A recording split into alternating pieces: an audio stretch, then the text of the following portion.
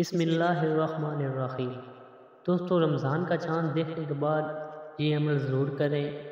यानी कि जिस रात रमज़ान का चाँद नज़र आ जाए या रमज़ान के चाँद के नज़र आने की खबर आपको मिल जाए तो ये अमल ज़रूर करें।